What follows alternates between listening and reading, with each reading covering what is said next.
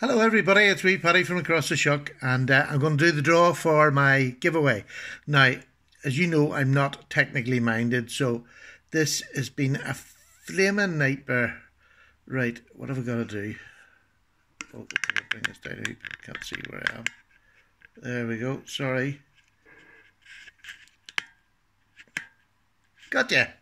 Right, I've got to do this number up here I'll be better watching this and not that screen.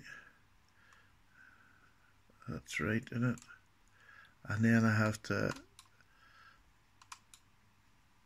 copy. Then I put that down the bottom again. This is taking me so long to work this out. The last time I done numbers, but this time I have done this thing. Comment picker. Right, I have to put that in there uh, hit this paste. That should be the thing you do for I have to hit this do for here this does this here. 197 that was really well supported.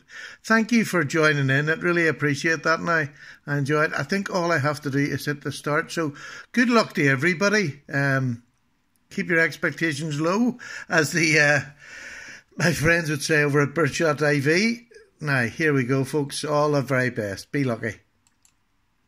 Yes, Goose Patty. Bert Macklin.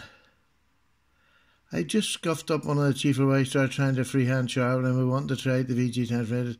Thanks for doing this, Paddy. Hope you are keeping well. Be careful of those cuts in your hand. Oh, you watched uh, another one of my videos.